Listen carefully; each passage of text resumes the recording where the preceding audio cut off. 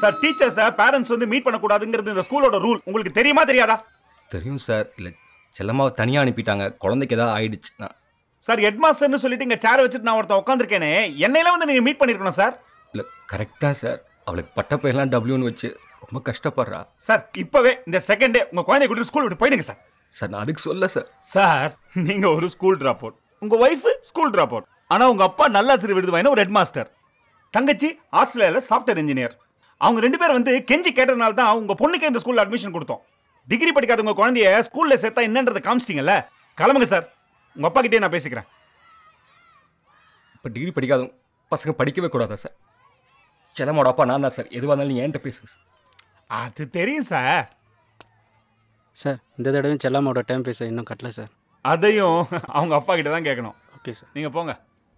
Sir உங்களுக்கு கிளம்ப சொல்லியாச்சுல? என்ன பண்றீங்க? கிளம்புங்க.